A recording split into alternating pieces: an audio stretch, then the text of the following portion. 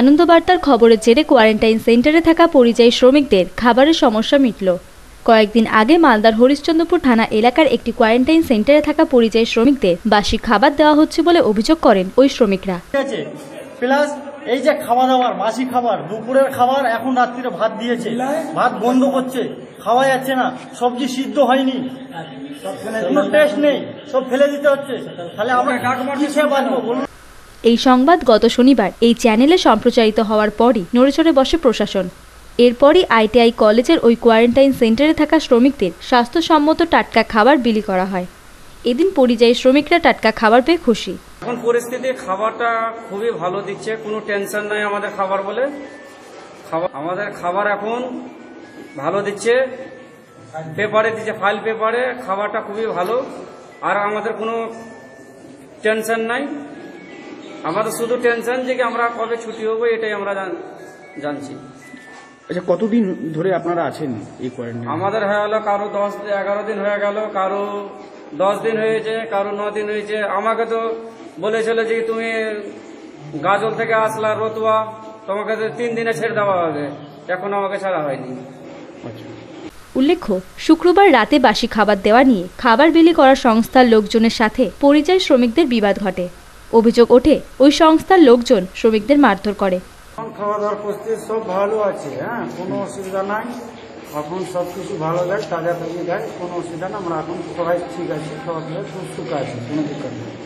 Hello হসনপুরে এখন যে গ্রামবাসীরা আছে সবাই মিলে আমাদের সুযোগ ভালো খাবার দাবার খুব ভালো দিচ্ছে খুব ভালো। হরিশ্চন্দ্রপুর এক নম্বর ব্লকের স্বাস্থ্য আধিকারিক অমল কৃষ্ণ মণ্ডল জানান প্লাস্টিকের প্যাকেটে গরম খাবার দেওয়ার ফলে একটা গন্ধ হয়েছিল। বাসি খাবার দেওয়া হয়নি। এদিন থেকে অ্যালুমিনিয়ামের ফয়েলে খাবার পরিবেশন করার নির্দেশ দেওয়া হয়েছে। এখন কোনো সমস্যা নেই। সাজানো ঘটনা। কারণ একটা কথা হচ্ছে যে, আমরা ফয়েলে দিচ্ছিলাম, কিন্তু তার মধ্যে কিছু প্লাস্টিক দেওয়া হচ্ছিল, ফয়েল দেওয়া যাচ্ছিল না বলে। কিন্তু আমরা বাসি খাবার দিইনি প্লাস্টিকের মধ্যে থাকার জন্য হয়তো এরকম হয়েছিল, বন্ধ হয়েছিল। কিন্তু তারপরে আমাদের ফয়েল চলে এসছে, আমরা আবার ফয়েলে দিচ্ছি।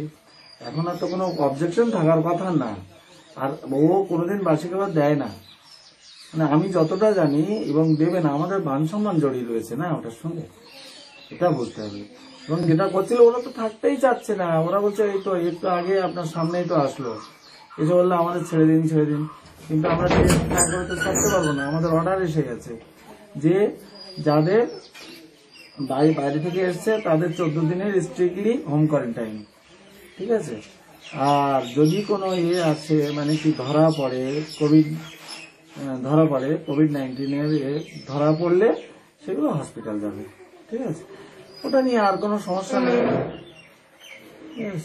অ্যাক্সিডেন্টালি হয়ে গেছে ওরা, কারণ আমরা ইচ্ছা করে কোনোদিনই বাসি খাবার দেবো কেন? আমরা যা খেতে পারব না, তার লোকজনকে দেবো কেন? দেবো না।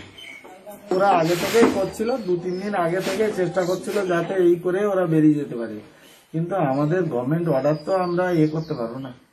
এটা করাও যাবে না। গভর্নমেন্ট অর্ডারকে আমরা ভায়োলেট করতে পারি না।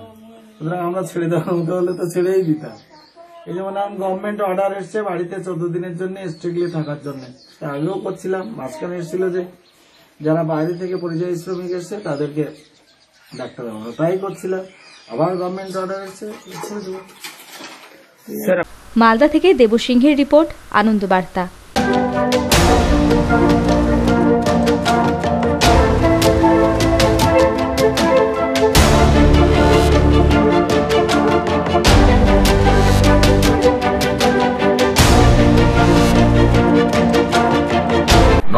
আমি কুশল চক্রবর্তী। আশা করি আপনারা সবাই ভালো আছেন, বাড়িতে আছেন, বাড়িতেই থাকবেন, বাইরে বেরোবেন না। আর যদি কোনো কারণে বাইরে বেরোনোর কোনো প্রয়োজন হয়, তাহলে বাড়িতে এসে ভালো করে সাবান জল দিয়ে হাত ধুয়ে নেবেন। কোনো ভিড়ে যাবেন বাড়িতে থাকুন করোনা ভাইরাসকে প্রতিরোধ করার, পরাজিত করার, প্রতিহত করার এটাই হচ্ছে একমাত্র নমস্কার, আমি আপনাদের দেবাত্রিতা আশা করি আপনারা সবাই খুব ভালো আছেন, সুস্থ আছেন এবং বাড়িতে আছেন। কারণ করোনা ভাইরাসের এগেনস্টে লড়াই করার জন্যে আমাদের প্রত্যেককে বাড়িতে থাকতে হবে। এটাই একমাত্র উপায়, নিজের পরিবারের জন্য এবং নিজের জন্য। তাই আপনারা সবাই বাড়িতে থাকুন, সুস্থ থাকুন এবং ভালো থাকুন। নমস্কার, আমি দেবরাজ। আমরা সবাই জানি আমরা এখন একটা কঠিন পরিস্থিতির মধ্যে দিয়ে যাচ্ছি। করোনার সঙ্গে ফাইট করছি আমরা। সবাইকে একটাই কথা বলার, ঘরে থাকুন, সুস্থ থাকুন, ভালো থাকুন। আমাদের বাঁচা মরা কিন্তু আমাদেরই হাতে। কোনোভাবেই ব্যাপারটা হালকাভাবে নেবেন না। কটা মাত্র দিন? ধরে নিলাম আরও দু মাস। ধরে নিলাম। ঘরে থাকুন, সিনেমা দেখুন। অনেক কাজ আছে। পরিবারের সঙ্গে সময় কাটান, গল্পের বই পড়ুন, যে যেটা ভালো লাগে সেটা করুন, কিন্তু ঘরে থাকুন। আমরা জিতবই, নতুন সূর্য উঠবে ভালো থাকবে গড ব্লেস নমস্কার, আমি সঞ্চারী।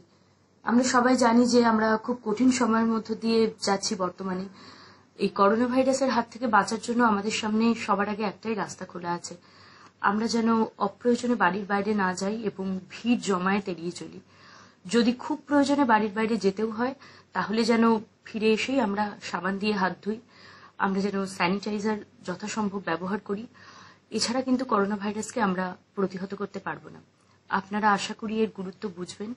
আপনারা সবাই সতর্ক থাকুন, সাবধানে থাকুন। নিশ্চয়ই আমরা একসাথেই লড়াই জিততে পারব। নমস্কার, আমি সঞ্জয়। আপনাদের সবার কাছে অনুরোধ এই করোনা ভাইরাস মোকাবেলার জন্য কয়েকটা দিন বাড়িতে থাকুন। দেখবেন সব ঠিক হয়ে যাবে। ভাইরাসটা যতই মারণ ভাইরাস হোক না কেন, চিকিৎসা আমাদেরই হাতে। ঘরে থাকা, নিজের পরিবারের সঙ্গে থাকা, নিজের পরিবারকে ভালো রাখার জন্য, নিজে ভালো থাকার জন্য প্রত্যেকে বাড়িতে থাকুন। নমস্কার, আমি সন্দীপ নন্দী বলছি। আশা করি আপনারা সকলে ভালো আছেন আর ঘরেতে আছেন। এই আগামী কটা দিন আপনারা প্লিজ ঘরের মধ্যে থাকুন। তাহলে আমরা এই করোনা যুদ্ধে জিততে পারব। কারণ করোনাকে হারাতে হলে কিন্তু ঘরেই থাকতে হবে। অযথা বাড়ির বাইরে বের হবেন না। আর যদি বাড়ির বাইরে বেরই হতে হয়, তাহলে বাড়ি ফিরে হাত ধুয়ে ভালো করে সাবান দিয়ে পরিষ্কার করে ঘরে ঢুকুন। আগামী কটা দিন বাড়িতে থেকে আপনি এবং আমার সমগ্র দেশবাসীকে বাঁচাতে সাহায্য করুন। নমস্কার। নমস্কার। কেমন আছেন? আশা করি আপনারা সবাই বাড়িতে নিরাপদে ভালো আছেন। আশা করব তো তাই। বাড়ি থেকে বেরোবেন না। বাড়িতে থাকুন। বাড়ির মানুষের সাথে সময় কাটান। আপনারা সবাই জানেন যে আমরা একটা কঠিন পরিস্থিতির মধ্যে দিয়ে যাচ্ছি। কিন্তু আমরা যদি সবাই আমাদের রাজ্য সরকার এবং আমাদের গভর্নমেন্টের কথা শুনে চলি, তাহলে এই যুদ্ধটা আমরা খুব শিগগিরই জয় করে ফেলব। সুস্থ থাকবেন, ভালো থাকবেন, আর নতুন বছরের অনেক অনেক অনেক শুভেচ্ছা, ভালোবাসা এবং অভিনন্দন। আমি আমার দর্শকদের বলব নিশ্চয় তারা সবাই ভালো আছে, সুস্থ আছে এবং ঘরের মধ্যেই আছে আমার মতনই। হ্যাঁ আমি ঘরের মধ্যেই আছি, ভীষণভাবে ঘরের মধ্যেই আছি। ফ্রম এইটিন্থ মার্চ ব্যাপারগুলো আমার সব থেকে এখন যাদের জন্য খারাপ লাগছে ডক্টর নার্স আর রিপোর্টার এদের জন্য আমার সবারই মানে যারা মানে সত্যি যারা যুদ্ধের মানে প্রথম সারিতে দাঁড়িয়ে আছে, আমরা তো অনেক পেছনে, যুদ্ধ আমরা সবাই করছি, আমরা অনেক পেছনের সারিতে, আমরা শুধু সাপোর্ট দিচ্ছি, কিন্তু যারা একদম প্রথম সারিতে দাঁড়িয়ে বস পুলিশ ভীষণভাবে।